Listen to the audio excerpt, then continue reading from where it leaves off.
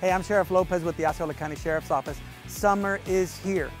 We have experienced an overwhelming amount of child drownings this year, almost 40. Please, when you're around water, be safe, protect your child, don't become a victim. Make sure that they're getting their swimming lessons. Make sure the flotation devices are proper to sustain a child their height and weight. Make sure that you're, if you're around any body of water, that you're paying attention to small children to make sure that we don't have a tragedy here in Osceola County. There's a lot of tourists here. Please be careful and be wise. You can enjoy your summer, enjoy the pool, enjoy the outdoors, but please enjoy it responsibly. Make sure you're taking care of your children and keeping an eye on them.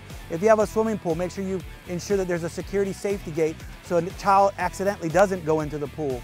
You guys take care and please be aware of all the great summer enjoyments that we have here in Osceola County and in Central Florida. God bless.